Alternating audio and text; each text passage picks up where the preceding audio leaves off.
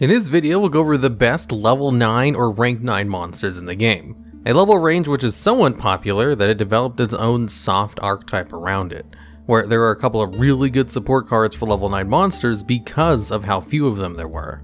And at number 10, we have Predaplant Triphyoverutum. This is a level 9 fusion monster who mainly sees play because it's an excellent super polymerization target if you know you're playing against an opponent who has a lot of dark monsters, as it can allow you to use three of your opponent's monsters for its fusion summon. And since dark monsters are the most popular and numerous attribute in the game, you can't really go wrong playing this card, although generally, Starving Venom Fusion Dragon is better because it's just a little bit easier to use and only requires two monsters. Even then, Predaplant Triphyoverutum still sees play because it can get rid of one more than Starving Venom. Now, this card also has a good effect on the field, where once per turn, when your opponent special summons a monster from their extra deck while you control this fusion summon card, you can negate the summon and destroy the monster. So it basically has a once per turn solemn strike effect, which is really good. And it also has a more niche effect where, if it's in the graveyard and your opponent controls a monster with a predator counter on it, you can special summon this card from the graveyard in defense position. Although if summoned in this way, then it can't use its negate, and it's basically just a 3k beat stick on the field, which isn't half bad either, although most decks that play this card aren't really generating predator counters very much, and that's kind of something for its archetype, which doesn't really see competitive play. A lot of the Predaplant cards do see competitive play, but not the archetype itself. And at number 9, we have Infernoid Devyaty. This is a level 9 Infernoid monster and is kind of meant as a boss monster for the archetype, as the whole archetype has this little restriction to them, where you can't summon another Infernoid monster if you control effect monsters in the field whose total levels and ranks equal 8 or higher. So bringing out an Infernoid Devyaty basically means you can't bring out other Infernoid monsters unless you have Void Imagination out on the field, which changes the levels of all of your Infernoid monsters to 1. Now, what Devyaty does is when it's special summoned, you can destroy all spell and trap cards on the field except void cards, which means your void imagination or all the other infernoid support cards. And generally, wiping out all spell and traps is really good. It can also special summon itself from your hand or graveyard by banishing three other Infernoid monsters from your hand or graveyard. And Infernoid decks love to send half their deck to the graveyard on their first turn so they can bring out whichever ones they want. And on top of its ease of summoning and good effect, it also has a spell speed 2 effect, where it can tribute a monster to negate the activation and banish a monster that activates its effect. So it gains a monster negate with an excellent removal on top of it. And since a lot of Infernoid decks love to play Lair of Darkness, you can just kind of tribute one of your opponent's monsters in order to negate the effect of a different one and banish it. So Devyaty is really good and sees playing basically every Infernoid deck a deck which does see competitive play pretty consistently, even if only at tier 2 status. And at number 8, we have Gizmek Kaku, the Supreme Shining Sky Stag. This card has the effect where if a monster exists in the extra monster zone, you can special summon this card from your hand and then equip one of those monsters to this card. So it has the ability to special summon itself from the hand and absorb one of your opponent's boss monsters, which is an excellent form of removal since very few cards have protection against that besides just being untargetable. It also has decent stats for a monster that can special summon itself from the hand so easily, and it has an extra effect, where if you destroy a monster by battle, you can special summon one of the monsters that's equipped to this card as an equip card. So it gives you the potential to use the monster that you absorb with its first effect. You can also use Union Carrier to equip another monster from your deck to it in order to special summon a wide range of other monsters with a destruction effect. Although since it's a level 9 monster that can special summon itself from the hand pretty easily, it definitely sees a healthy amount of play. And all of its other effects are kind of just bonuses on top of that one.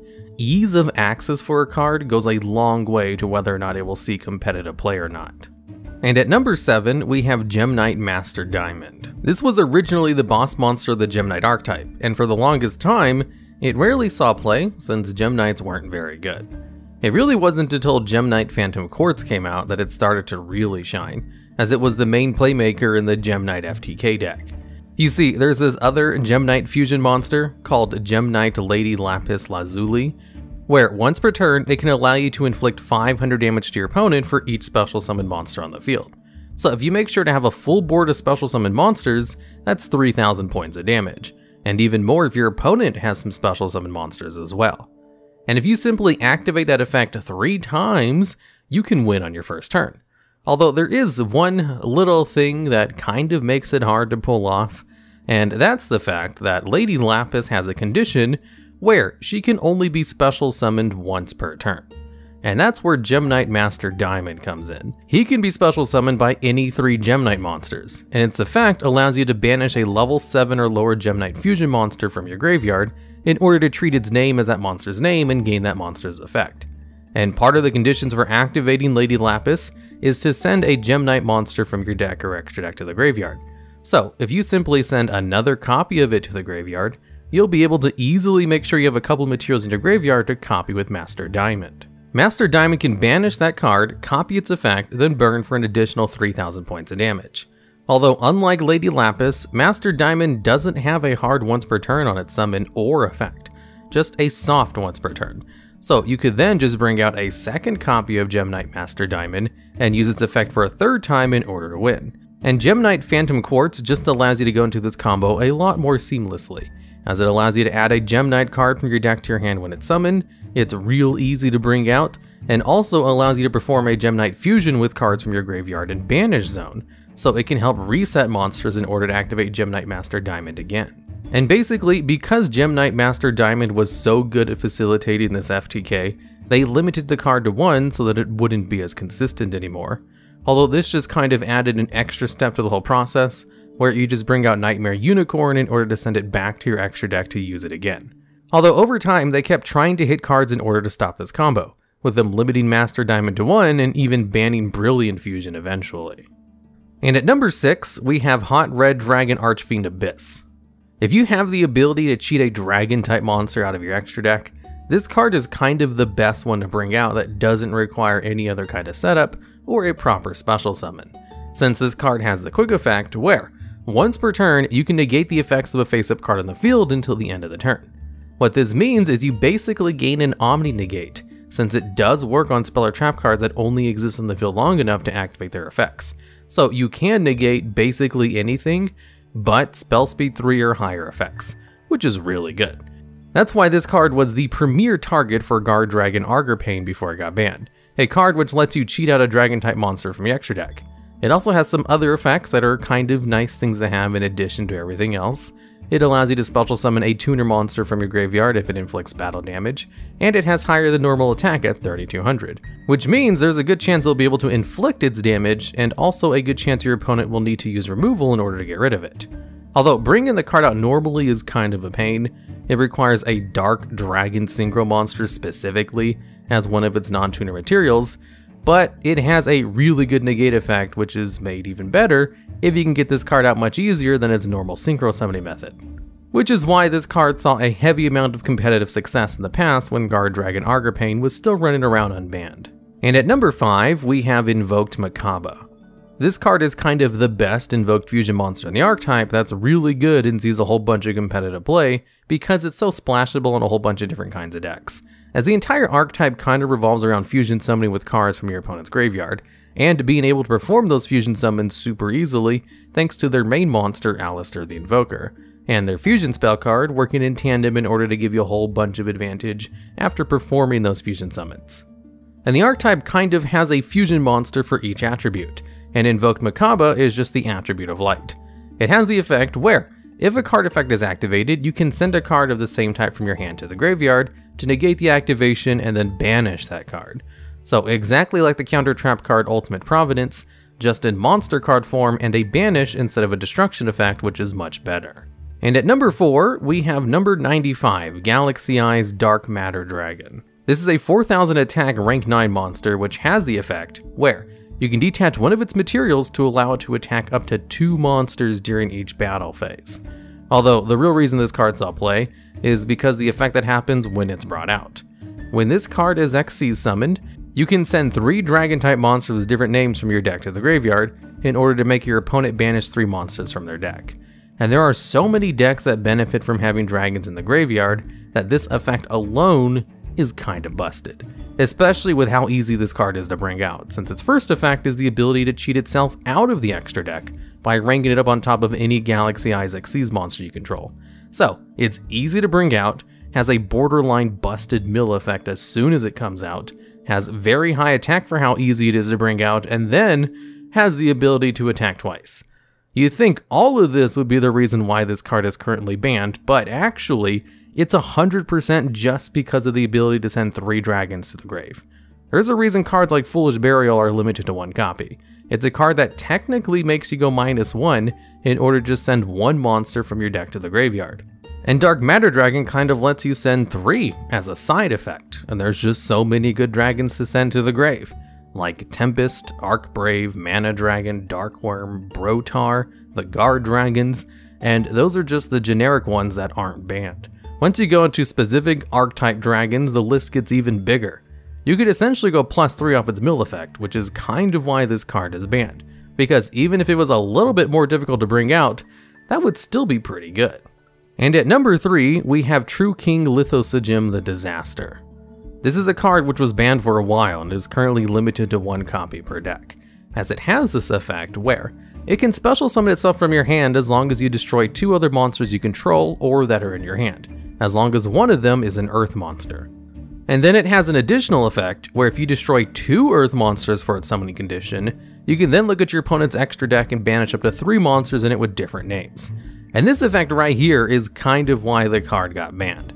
It then goes on to have a floating effect to special summon another worm type monster from your graveyard if it's destroyed by a card effect, which is a nice bonus as well.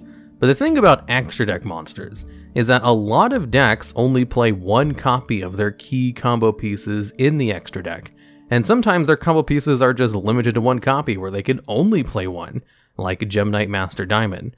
So bringing out Lithosagym on your first turn could basically win you the game right there, if you just banish the three cards that their deck needs in order to win, or to get rid of three cards from your opponent that they could use to out any strategy you might be trying to use. And that's not even the end of it, this card also benefits very greatly with the Dinosaur archetype, as it has cards like Babycerasaurus and Petiteranodon that are earth monsters that allow you to special summon dinosaurs from your deck when they're destroyed by card effects. So you could basically go plus 2 off of just summoning Lithosagym, while also completely ending your opponent's potential to play the game by banishing 3 cards they might absolutely need to accomplish what their deck is trying to do. It's just kind of a game winning effect on its own. Although, only if you're playing against the deck which needs those specific kinds of cards. There's some meta decks which don't even use their extra deck, and some where it's just kind of a toolbox that's nice to have, but might even play cards like Pot of Extravagance to use their extra deck as a resource to draw cards anyway. So it could be a completely game-winning effect, or an inconvenience that just happens to give you nice pluses if you're playing a dinosaur deck. But I think that's probably why they eventually just limited to one of the ban lists instead of keeping it banned. So it's still really good, but not as consistent to use if there was three copies available. And at number 2, we have True King of All Calamities. This is a rank 9 Xyz monster which just requires any 2 plus level 9 monsters as materials, and has an effect to basically shut down your opponent's monster effects for a turn. Where on a quick effect, this card can detach one of its materials to declare one attribute, and for the rest of the turn, all monsters on the field become that attribute, and your opponent can't activate any monster effects or attack with monsters that have that attribute. So if you declare fire, for example, and your opponent summons a monster that's not fire, it will become fire due to True King's effect, and then be unable to activate its effect or declare an attack. And the only way to stop this effect is to negate it upon activation, and if you use it as soon as your opponent draws a card, it's pretty hard for them to try to negate the effect. And also, another little interesting thing to note about the effect is that it can also affect monsters in the hand and graveyard, as long as they are of the attribute you declared. So if your opponent has a whole bunch of fire monsters, for example, you can completely shut them down for a turn if you just declare that attribute. Although if you don't care about shutting down the cards other than the ones on the field, you can just declare whatever you want and just kind of pick Divine for fun. This card's effects are so good and so easy to use that it kind of single-handedly gives level 9 monsters really good support. It makes that level very valuable because the potential to go into True King of all calamities. And the effect is so good that I think it kind of beats out two cards which were previously banned. And at number 1, we have Trishula, Dragon of the Ice Barrier. This is a card which has been on and off the ban list ever since it first came out, being completely banned more often than not, as the card is currently limited to one copy. And it has a very simple effect, When this card is synchro summoned, you can banish one card from your opponent's hand, field, and graveyard, with the card chosen from your opponent's hand being one at random. The monster is supposed to be bounced by the fact that it requires at least three monsters for its synchro summon, as its materials are one tuner plus two or more non-tuners, so you need to use three monsters to go into this one in order to get rid of three cards from your opponent. Now, here's what's broken about this card. This effect is not once per turn. It does not target, and it attacks the hand. Those three things are kind of hallmarks of broken cards, because since it's not once per turn, you can just keep bringing out other copies of this card and keep using its effect. You can use cards like Desynchro in order to just reset the effect and use it twice with the same materials. Since it doesn't target, your opponent can't preemptively activate their cards upon selection in order to kind of save themselves. And they have to preemptively activate their spells speed 2 effects or lose them without being able to use them. And since it attacks the hand, it's an excellent card to use on your first turn, even if your opponent doesn't have a field set up, because being able to snipe cards from your opponent's starting hand is kinda broken. And there's a lot of cards in the ban list whose sole effect is to get rid of cards from your opponent's hand a little bit too easily. And if your opponent does have monsters on the field, the ability to non-target banish one of them is one of the best forms of removal in the game. And what's hilarious about this card is that it belongs to one of the weakest archetypes in the game, the Ice Barriers. They have a whole bunch of really bad main deck monsters and cards, but they kind of knock it out of the park when it comes to broken extra deck monsters, as three of them have appeared on the ban list at some point in time, with one of them needing an errata to ever come off the ban list. It's kind of surprising Trishula didn't also get an errata, but honestly it wasn't as broken as Brionac of the Ice Barrier. Trishula is so good that it's one of the few synchro monsters which was put back on the ban list in some way after coming off of it during Master Rule 4, when they heavily restricted extra deck summoning methods with the new Link monsters. Because even during Master Rule 4, before the revisions, Trishula was still kinda strong, and got a nice little boost once the revisions came out and synchro monsters became a lot easier to use. Trishula also has a whole bunch of retrains, all of them trying to fix how broken this card was by simulating its effect with the more better one being Nekroz of Trishula, which basically has the same effect, except it has a hard once per turn on its banish, and requires your opponent to have those three cards in those three locations to even use its effect. So you know the original is kind of busted when its retrains have overly balanced versions of the same effect, which is why it takes number one spot on this list. Honestly, the top four spots are all super good. The level 9 monsters are surprisingly stronger than you'd think, considering how unpopular that level has historically been. Alright, and that's the list. Do you know of any other level 9 monsters which are better than the ones in this video that I should have mentioned? If so, I'd love to hear about them down in the comments, as well as ideas for future videos just like this one. And also, did you know only 40.2% of people who watch these videos are actually subscribed to the channel?